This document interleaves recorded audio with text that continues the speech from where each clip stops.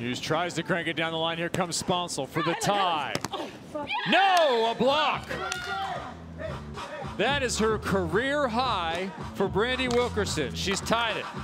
Now that's Eight stuffs. two huge saving blocks by Wilkerson now. Match ball number four. Can she pick up a career high nine blocks for the win?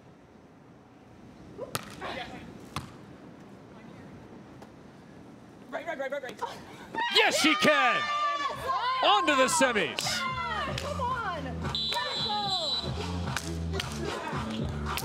Let it go.